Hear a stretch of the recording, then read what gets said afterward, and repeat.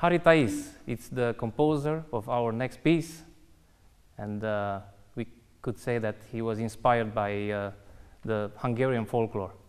Piroska, this is the name of the piece. Uh, Piroska means a lot of different things, such as in Romanian language means sarmale in, a, in different parts of Romania, which are uh, some sort of meat and cabbage Romanian dish. in Hungarian means uh, cake. But I can assure you that for us, this is going to be a piece of cake.